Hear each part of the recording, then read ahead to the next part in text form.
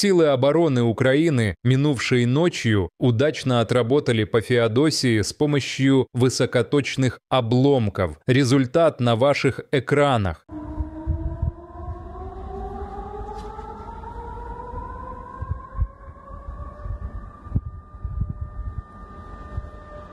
Феодосийский нефтеперевалочный терминал является крупнейшим в Крыму по объемам перевалки нефтепродуктов. Всего на полуострове два таких терминала. Второй расположен в Севастополе. В связи с возникшим этой ночью пожаром на нефтебазе в Феодосии на данный момент сотрудники ДПС перекрыли движение на улице Геологической, а также все те, кто отправляются из Феодосии поселок Приморский, должны быть готовы к тому, что участок дороги на Керченском шоссе также ограничено движение на нем. Хороший русский – это мертвый русский, а любой другой русский – это плохой русский.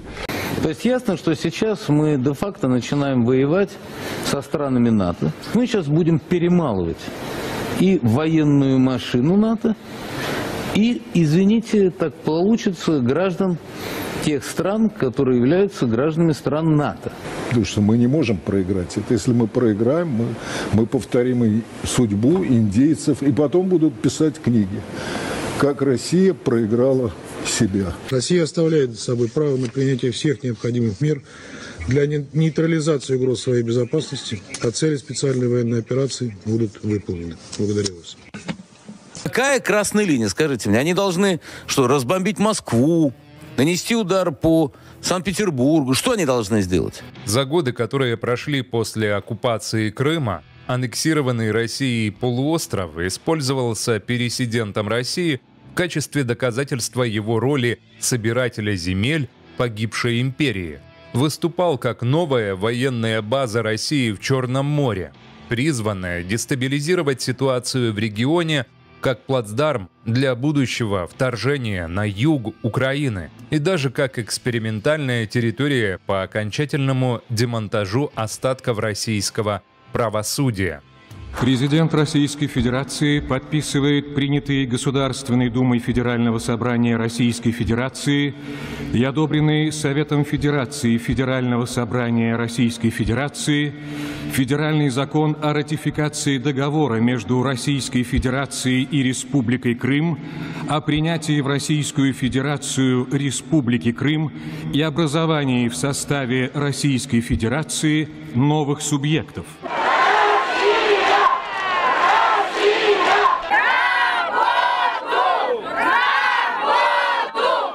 Теперь, когда вырисовывается тенденция новых потерь, в результате возможного поражения путинского режима Крым, похоже, выступает уже в новой роли, в роли главного инструмента российского шантажа, в роли самой важной территории России. Крым, древняя Корсунь, Херсонес, Севастополь имеют огромное цивилизационное и сакральное значение – так же, как и храмовая гора в Иерусалиме для тех, кто исповедует ислам и иудаизм. И именно так мы и будем к этому относиться отныне и навсегда. Это линия самоидентификации нашей нации.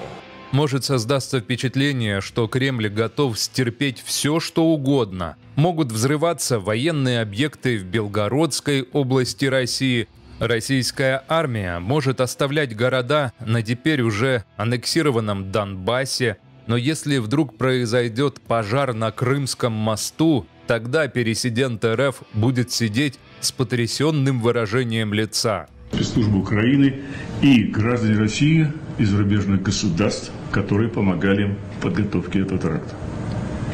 Спасибо. А российская авиация буквально через сутки после пожара начнет наносить удары по инфраструктуре Украины. Оставлять без ответа преступления подобного рода уже просто невозможно. Главное не переходить административные границы Крыма. Главное не дотрагиваться до Керченского моста. Прелесть! И вот уже экстравагантный миллиардер Илон Маск предлагает оставить России Крым – будто озвучивая потаенное желание российского правителя. Я знаю, о чем я говорю. Думаю, главное не поддаваться на этот шантаж, не верить в эту декорацию. Потому что в Крыму живут наши люди, и сама территория стратегически важна, и потому что именно здесь находится духовный исток формирования многоликой, но монолитной русской нации и централизованного российского государства. Почему безопасность Крыма должна беспокоить российского президента больше, чем безопасность Белгорода? Почему статус Крыма чем-то должен отличаться от статуса Донецкой, Луганской, Херсонской и Запорожской областей? Все эти украинские регионы, аннексированные Россией, по одному и тому же сценарию. Почему нужно думать, что военные поражения не вызывают у Путина эмоций? Мне абсолютно безразлично. А вот после пожара на Крымском мосту он отдает приказ немедленно начать бомбить Киев или Львов. И наши западные партнеры перешли черту. Как можно поверить в подобную мистификацию? А я убежден, что, так сказать, Россия, ну, это, ну, это будет так, ну, это, я не знаю. В войне, которую Россия начала против Украины, уверен, нет никаких красных линий, которые связаны с пожаром на Керченском мосту, переходом украинской армии в наступление на оккупированных Россией территориях и даже выходом на административную границу Крыма. Плевать. В этой войне есть одна единственная красная линия, которая уже давно перейдена Путиным. Государственность, суверенитет и территориальная целостность Украины.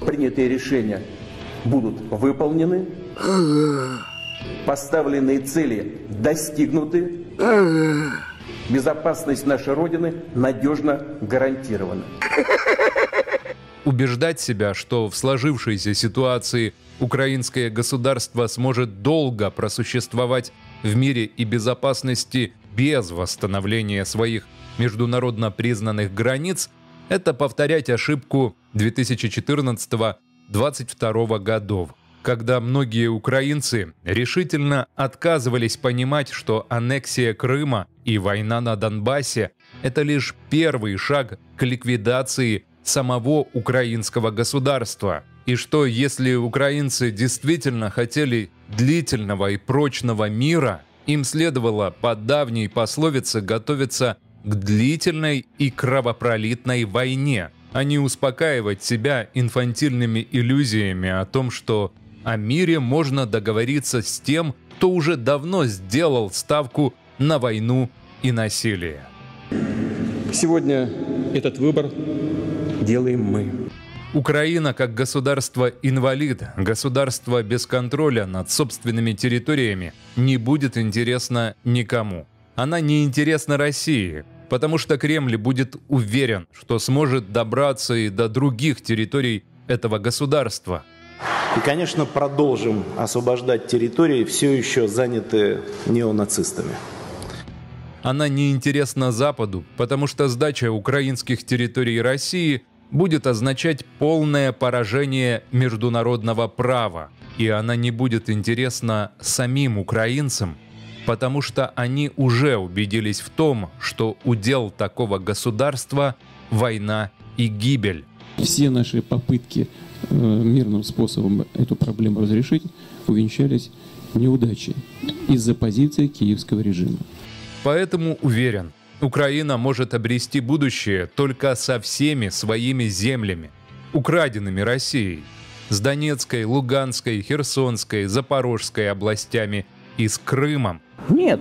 Конечно же, с Крымом.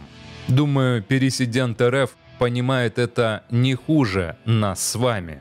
Поэтому и использует временно аннексированный полуостров как инструмент для шантажа. Он не просто больной человек. Он еще циничный и подлый человек. Он хочет, используя вот эту операцию по оккупации аннексии Крыма, хочет править нами вечно.